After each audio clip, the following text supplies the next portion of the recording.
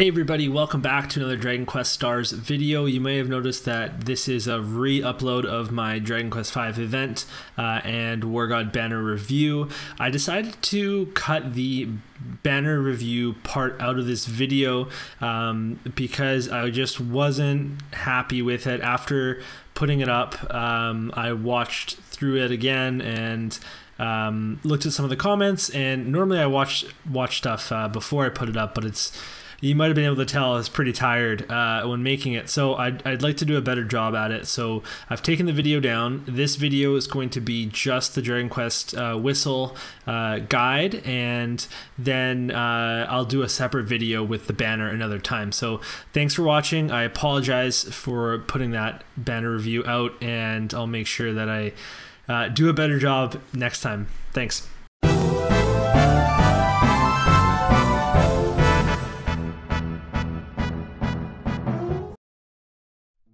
Okay, so to get started, we're going to talk all about these whistles that are currently available in the event. Uh, there's six total that you can get uh, that will drop from the missions, and they seem to have a pretty high drop rate. So we're going to go over all of that, uh, but first let's take a look at the whistles. So the first one that you can get is a slime whistle, and all these whistles are going to have the name of the monster that you uh, that came to your aid. So this slime was called Goobzin, but there's other other names that you can get as well, and it's going to have they're all going to have assist slime strike, uh, which is 180% potency attack, single enemy critical hit possible. So that's a really good ability um, just to have a nice little atta- a little attack, uh, and then that's not even upgraded yet, so that can get more powerful. So it's already a, a fine skill as it is, and then uh, the CT is pretty low, and you're adding an extra skill onto your loadout, so it's it's not a bad way to go. So these these whistles all have that that in common. Uh, so after the slime whistle, we have the um, let's see here, the slime knight. Uh, so this is my Arthur whistle or slime knight whistle, and he has assist charge which does 170 potency attack with a 50% chance to stun, which is obviously a pretty useful status effect to put on an enemy. So it's nice to kind of have that in your pocket. You can put that on any character, uh, and that's pretty nice as well. So there's going to be a similar one. We have Robert, which is the um, the walking corpse enemy. Uh, so this one is going to have assist past glory, uh, and it's going to be 170 potency attack as well. But this time it's going to have a 50% chance to inflict defense down. So this would be useful to use at the beginning of a combo or just in general on your enemy before you you whack them with a bunch of stuff.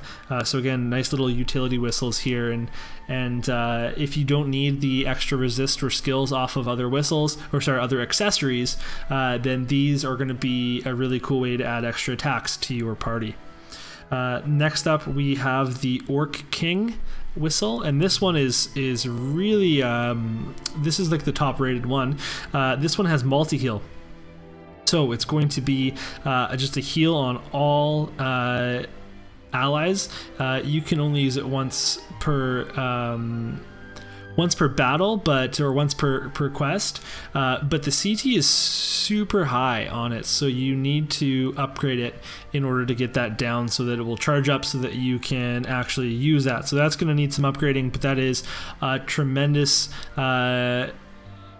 Just a really good utility thing to have on any character, uh, but it also boosts your magic healing and your defense. So in general, it's just going to be a solid, solid accessory, um, but also just going to give you that extra healing that you need to fight some of the harder battles. So that's very cool as well. Uh, then we also have the liquid slime whistle and this one is uh, has a Kasiz effect, uh, which is going to hit all enemies. So it's just a Sizz attack on everybody, and it's got defense and magic attack 10. Uh, so again, a solid solid thing to add on, just an AOE attack. Uh, that one is harder to get than the other ones because you have to have the liquid metal slime spawn in order to get the drop. Uh, and then finally, we have the Golem uh, whistle. Uh, and this one has the missile kick, which is uh, an hit everybody uh, 160% potency rebel rouser attack attack So again, a nice little AoE attack uh, to hit everybody. Uh, and this one's got a higher CT as well, and this one has a defense boost of 10. So just let's take a quick look. These other ones, they all have um, stat boosts as well, which is uh, which is really nice. So we didn't look at the the knight. Uh, so the knight and the slime both have um, defense 5 and uh, attack plus 3 uh, and then which one did oh yeah the zombie we didn't look at this guy. Uh, so this one has defense 5 and max hp 5 so uh, not a bad way to go. So if you want these whistles you can farm i believe you can farm uh, a full party set so three uh, of each one. And if you want to do that you just need to head over to the limited time events and go on into the heavenly bride. Uh, so i've been farming these at um, the hero level here. So on these missions here and and I got most of my whistles first time, and sometimes it took like two to three times to get it. So the the drop rate for the whistles seems very high, which is very nice. Uh, and I'll just kind of go over which which missions have which whistles. So uh, you can always check as well uh, by hitting this little scroll on the side here. So when you hit this and you scroll down to the bottom, it's actually going to show you all the monsters here that you can uh, that you can uh, fight in this level and if the one of them is the monster that's on the whistle then that whistle will be able to drop. So we have a slime here uh, so that means a slime can drop from this mission. So if you want the slime whistle you're going to go to the reckless hero or sorry reckless adventure mission right at the very top if you want the walking corpse, then you're going to skip two down to emotional return hero, uh, and this is going to be your mission. There you can see at the very bottom to get your walking corpse whistle. Next up, we have uh, the liquid metal is going to be in two different levels. So, uh, truth uh, in the mirror, and also near the ones you love down here. Both of these are going to have uh, metal slimes as possible, sorry, liquid metal slimes as possible enemies, uh, and that will drop your liquid metal slime whistle. Uh, next up, we have the Slime Knight, and if you want the Slime Knight, then you're going to have to go to Hopeful Voyage right here, uh, and as you can see again, we've got Metal Slime Knight and Slime Knights, so you can get those. Uh, Orc King is up next, and he is in the Inherited Challenge. Uh, so that is right here with Robin Hood, uh, and this is obviously a high priority because he's the heal all whistle. So you definitely want to farm that one three times because that's going to be super useful.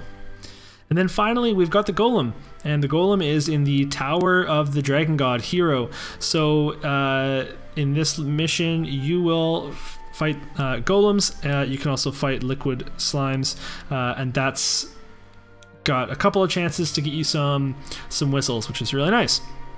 So, uh, good luck farming all your whistles. I hope you get them all quickly. Uh, but what you can also be doing when you're doing this this uh, event, there's a couple of cool things. One, there's a chance when you win a uh, fight or a battle for there to be a stamina drop, and that will actually give you back some stamina that you spent. So you might actually be able to do more than uh, your uh, than you think when you start to farm these. Uh, as you can see, my stamina is pretty low because I'm not that far in the main uh, quest. I'm playing three gachas right now, so uh, the main story in Dragon Quest has not been a priority for me. I'm starting to work through it again now uh, to try to catch up. So I've got quite a bit of ways to go, but I'll hopefully get my stamina up soon. Uh, so it was appreciated that we got some of that, uh, some stamina drops in this level.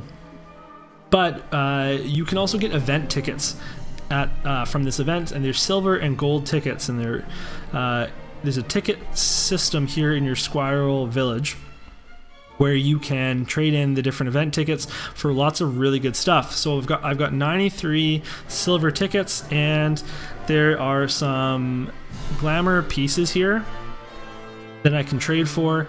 Um, they don't do very much in terms of uh, defense, so these are just for your glamour. Uh, the boxer shorts are are really cool, so I might have to buy those.